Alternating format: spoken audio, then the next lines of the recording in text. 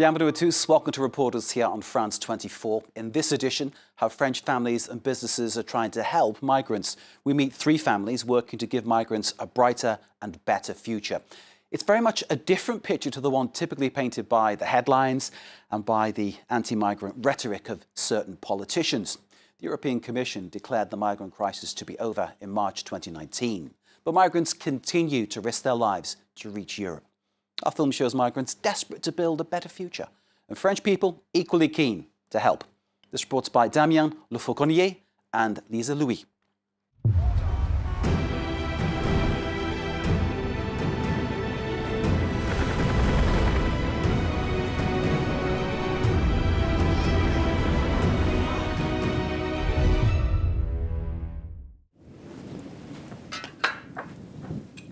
I'm tired today, can you tell? Ça se voit I have no appetite either. I can't bring myself to eat. Ah, mais moi, j'ai j'ai besoin que tu tiennes No, but I need you to hang on.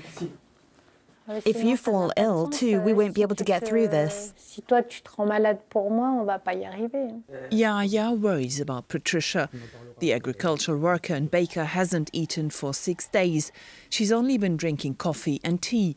She now often feels dizzy. C'est une colère, mais j'avais pas envie I'm so angry, but I don't feel like yelling out loud. I just want the world to see my state of mind. I really want to help Yaya, and I don't know what else to do. Patricia is on hunger strike. She's fighting for the right to keep on her Guinean apprentice Yaya. He arrived in France aged 16 and was allowed to become a trainee at Patricia's farm near Lyon in eastern France. But two years ago, when Yaya turned 18, he had to cut his training short and was told he'd have to leave the country. However, he'd be difficult to replace. On a eu quelques jeunes Français qui sont venus toquer Several French candidates came knocking on our door, but they only stayed for a few days. Euh, This lifestyle is just too tough on them. l'habitude de, de vivre comme ça. Work days that can go on for 15 or 16 hours put other candidates off. But Yaya has learned to love the work here, especially at the farm's bakery. Allez, Yaya, on coupe. euh, Go on then, Yaya, cut the dough for the 500 gram bread. tu les façonnes. And then you shape them as usual. Et ben voilà. Henri Pierre happily shows Yaya the ropes, but the current situation is weighing on him. We need help. On- je sais I don't know what to say anymore. Faut, faut, faut dire finalement. Je- J'en ai même les larmes. It brings tears to my eyes. I'm sorry. Je suis désolé. Euh, on n'arrive pas à I don't even understand why there are on des borders and barriers. On met des frontières finalement. Euh, Pourquoi Why would you stop euh, Yaya, Yaya from euh, working for us? Qui, veut- en- qui a envie de, de travailler. If that's what he wants to do, why would you do that? quoi, le truc, c'est euh, pourquoi Even though he's not allowed to work at the moment, Yaya still comes to visit them twice a week. After four years of shared life, he got attached to them, also to Marie, Patricia's daughter. I still remember when you first got here. You just couldn't keep still. Now you seem calm and settled. At the time, Yaya still believed things would turn out all right. But the past two years haven't been easy. All I can do now is wait. I used to come here every Sunday and Monday to learn the recipes, but I know them now and could actually help with the work if only the government let me. But I don't have the right to work. Si l'administration accepte, bien sûr. Yaya has found refuge at a charity. In exchange for work, he gets lodging and food. Jacques. Ça va, Laurence And he's trying to fight back through a collective that he started together with two other Guineans, Muni and Zakaria, who also had to cut short their apprenticeship when they turned 18. On a appris comme il faut passer nos, nos, nos examens. Zakaria We studied as we were asked to. We got through our exams and we received our certificates of professional competence. I've learnt French and live with a French family that's trying to adopt me, so far to no avail. My future lies in France. France, the future of all the members of our collective lies in France. Tout mon avenir ici, et tout comme, tout comme des jeunes au fait de l'association, du collectif, qui ont tout leur avenir maintenant ici. Yaya doesn't like speaking about his long struggles in Africa. He had to walk across the continent, was sold as a slave in Libya and rescued in the Mediterranean Sea together with other migrants after being forced to flee from his village at the age of 14. Il y avait beaucoup de violence dans la famille et surtout me concernant. My family was quite violent, especially towards me. They invented a whole scenario and told the entire village that I was opposed to religion. I had to flee to save my life. Yes, by stoning. I called the prefecture this morning. I told them this isn't a joke. You need to give me an answer now. I haven't eaten for seven days. This is getting really urgent. Fifteen days later, Patricia has lost seven kilos but won the fight. The authorities have decided to grant Yaya the right to stay in France and complete his apprenticeship. Allez, à Allez, bientôt. salut. Bisous, Moya.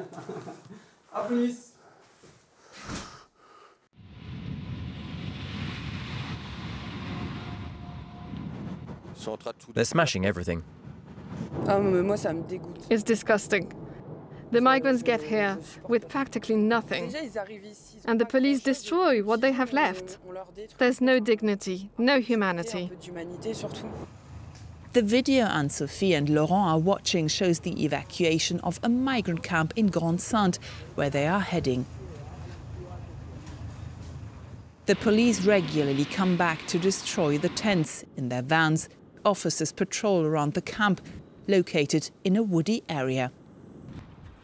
We're arriving at the camp of Grande-Synthe. We'll take a few of them with us, but we can't take everybody along. There's not enough space. Hundreds of migrants, most of them Iraqi Kurds or Iranians, have set up camp in the forest just a few hundred meters away from nearby homes. They all want to cross the English Channel. Conditions are harsh. Laurent is taking stock of the damage after the police operation. The place resembles a garbage dump. Look at that, a clean blanket that's been thrown in the river. Anne-Sophie and Laurent take a few migrants along to their car. It's filled with coats, trousers, pullovers and plastic sheets, bought with online donations. Entire families live at the camp. Laurent is furious. This is the second evacuation within a week. How dare they destroy a child's shelter, crush his toys and clothes in the mud? It's absurd. Laurent is chatting with Zari from Iraq. He's laughing off the abuse he's suffered since arriving in Europe.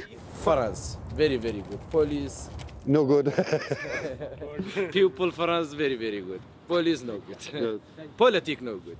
Politic no good. Politic, no good. Police no good. Zari hasn't seen his wife or his baby in the past two months. The family had managed to get through to the UK, but he was then caught by police and sent back to Sweden. Sorry. Give me number. Laurent doesn't hesitate to give out his number. All the migrants save it in their phones. They are so so help us uh, with the tent, with the blanket, with the food. That's the night. Uh, this jungle is so so cold for us. Laurent has been helping migrants for 25 years. He comes here every week. What he does doesn't always go down well with the locals. We need to be careful. A year ago, a man drove past me so close that he hit me with his rearview mirror on purpose. All these racists don't want us to help the migrants. When there was still the so called jungle, that huge camp, some people would chase me on the highway to try to push me off the road. Laurent has been unemployed for a year now. He used to work as a cleaner and says he was laid off because he's helping migrants. He uses his home as a base and builds heaters to help the migrants. That will keep them warm, and they can prepare proper food. If they put their pan on a log, it's not stable, and the food falls on the ground. Come back. This is a typical evening for Laurent. He's talking to a couple who used to stay with him. They made it through to London. Laurent lives here with his wife and two sons. At the moment, they have opened their doors to an Iranian father and his daughter. They want to join family members in England. We got here illegally. The journey was very difficult and stressful. In Croatia, the police treated us really badly. There was another migrant with me, and we were all beaten by the police. They took our money, our clothes, and deported us to Bosnia. His 17 year old daughter tried to cross the channel with the help of smugglers five months ago, but a few kilometers off the coast, their boat capsized. I have a problem uh, with my ears because uh, the weather is so cold, and uh, I, I, I was so scared. And I don't want to try again, but um, I must try. I, I must close my eyes and. Uh, you know, you know swimming? No, I can't. Laurent has been helping migrants since he was a teenager after seeing how some of them were forced to live in the streets. That left him deeply shocked. In 2018, he was given a six month suspended prison sentence after helping three Iranians to cross the channel. But he doesn't regret what he did. I gave them life jackets, a GPS, a compass, flares. They had everything they needed. Yes, they did. 10,000 migrants tried to cross the channel in 2020. Six of them died, three disappeared in the sea.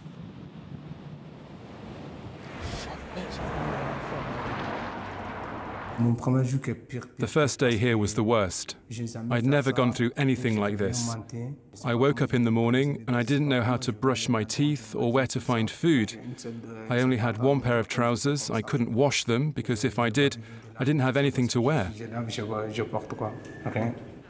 This young Malian is reflecting on his first few months living in a tent here near Gare du Nord in Paris. We call him Ali, which isn't his real name. He's afraid the government might expel him. His papers show that he was 15 years old when he first arrived in France. He thought his age would mean he'd get off the street, but it didn't.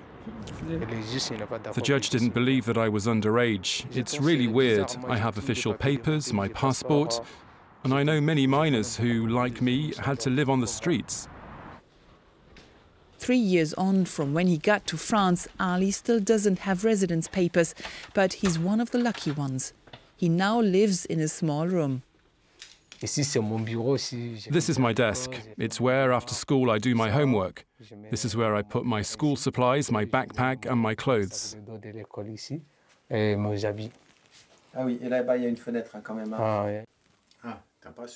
It's not very tidy. You're a young person like any other. But it's my desk. You've even got a real window. We knocked down the wall of the laundry room, so we don't have a laundry room anymore. But at least he has some privacy. Ali has been staying in the apartment for a year and a half now. Now, Nawal, Aziz, and their children have taken him in. Ali has his own key. He eats and spends his free time with them. Which pizza would you prefer, four cheese or four cheese? Uh, four cheese. Nawal works as a lawyer, Aziz as a train driver. When they heard about migrants who are minors, they wanted to help. A charity put them in touch with Ali. On a vu même des, euh, des femmes seules qui recevaient des jeunes. Et, euh, et du coup, voilà, c'est vrai que c'est rassurant. There are even single euh, women who take in minors. It's quite encouraging to talk to people who say that they were also a bit scared at first, euh, but that then everything went well. Ces jeunes mineurs isolés, au lieu de dormir euh, dans la rue, At euh, least I can help some of these minors who otherwise would have to stay outside. It costs me nothing. A few months after Ali's arrival, the youngest family member was born and Ali celebrated his 18th birthday. Ces jeunes-là, en tout cas, c'est vrai, sont des gens assez timides. Euh, These young people are really timid at euh, first. They observe things and ask lots of questions for a while before really taking part in family life.